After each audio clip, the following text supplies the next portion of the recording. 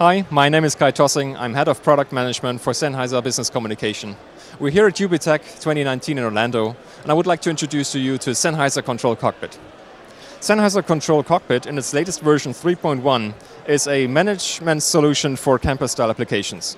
It has three key views. So the cockpit view shows you the 30,000 foot level of your entire campus. It indicates the RF situation of the devices in use, the batteries in use, and even with network-enabled chargers, the status of spare batteries.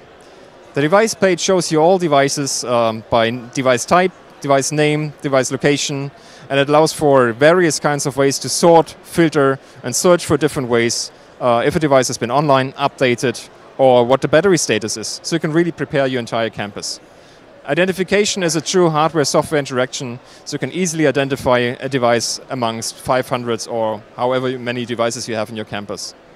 Location page shows you the entire overview about mission critical information, be it RF, battery, audio, or just a mute switch, which may be activated or deactivated, so the person in the room may be confused by its mute status, which you can troubleshoot from afar. As it's just a website uh, hosted by one host in the network, uh, you can operate it from any smart, uh, smart device like tablets, smartphones, or desktop use. So you can really troubleshoot wherever you are, or can even dial into the network via VPN. So you can troubleshoot from home um, and solve the issue.